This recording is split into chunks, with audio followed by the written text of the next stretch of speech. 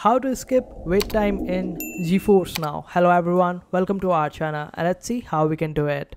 So for this you will have to open up two different websites and the first one is status.geforcenow.com and the second one is gfn.jotos.me and after that in the second one you will be able to find different servers these are basically different servers and you have to choose the server with the lowest number. So this one seems to be the lowest. You can just simply refresh it in order to see the latest numbers. So we just have to copy the code of this particular server and then go on the other website. And over here you need to expand different servers like US Central. Just click on plus and it will be expanded.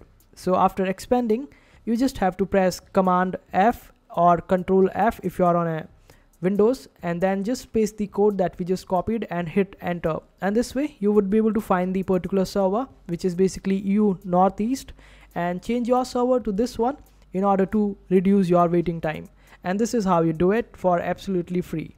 I hope you like this video make sure to hit that like button and also subscribe to our channel for more helpful videos.